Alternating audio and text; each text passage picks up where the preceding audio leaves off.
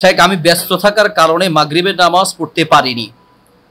পরবর্তীতে যখন মসজিদে প্রবেশ করি, তখন দেখি এশারে নামাজ চলছে। এমন অবস্থায় আমি কি মাগরিব পড়ব না এশা পড়ব? খুবই সুন্দর প্রশ্ন। আমাদের যদি কারও কাজা নামাজ থেকে যায়, যে কোনো ওয়াক্তের, এরপরে মসজিদে ঢুকে যদি দেখি যে পরের ওয়াক্তের নামাজ চলছে, পরের ওয়াক্তের ফরজ সালাতের জামাত চলছে, তখন আমরা কি করব? এই ক্ষেত্রে আপনার জন্য আপনার জন্য অনেকগুলো মত এখানে আছে। কোনো কোনো আলেমের বক্তব্য হচ্ছে, আপনি যে ওয়াক্তের নামাজ চলছে, সেই ওয়াক্তের নামাজে আপনি অংশগ্রহণ করবেন, আপনার আগের ওয়াক্তের নামাজের নিয়ত করে। এক্ষেত্রে ইমামের এক ওয়াক্ত হবে, আপনার আরেক ওয়াক্তের নিয়ত হবে। এটাও কোনো কোনো আলেমের পরামর্শ আছে। আবার কোনো কোনো আলেমের পরামর্শ হচ্ছে যে, না, আগে আপনি আপনারটা পড়ে নেবেন, তারপরে আপনি জামাতে অংশগ্রহণ করবেন।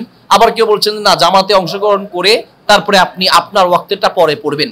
সবগুলো মিলিয়ে হচ্ছে আমরা যে মতটাকে প্রাধান্য দিতে পারি তা হচ্ছে, যখন আপনি মসজিদে প্রবেশ করবেন এবং দেখবেন যে কোনো ওয়াক্তের নামাজ চলছে, আপনার আগের ওয়াক্তের নামাজ বাকি রয়ে গিয়েছে, সেই ক্ষেত্রে আপনি যে ওয়াক্তের নামাজ চলছে, ওই ওয়াক্তে আপনি জামাতে অংশগ্রহণ করবেন। ধরেন প্রশ্ন অনুযায়ী আপনার মাগরিবের নামাজ বাদ রয়ে গেছে। মসজিদে ঢুকে দেখছেন এশারের নামাজ চলছে। আপনার মাগরিব বাদ থাকার কারণে আপনি কি করবেন?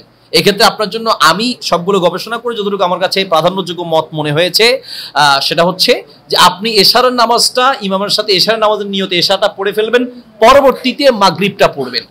হয়তো প্রশ্ন আসতে পারে যে এখানে তার তো নষ্ট হয়েছে। অর্থাৎ তার ছিল আগে মাগরীব পড়া, পরে এশা পড়া। ঠিক আছে? তো তার তিপ নষ্ট হলে অসুবিধা নেই।